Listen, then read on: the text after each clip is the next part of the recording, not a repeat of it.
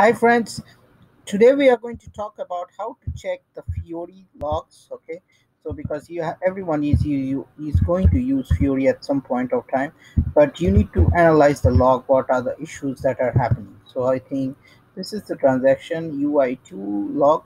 Yeah. So here you have a from date and to date. I'll just change it to. I'll remove the username. Okay, so I'll just I can get something.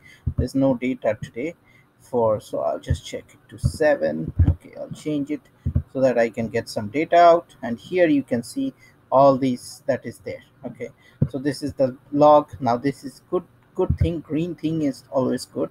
Okay let's make it to 1 and let's see whether we'll have some more. So when we see red this is not good. So probably we'll see some red.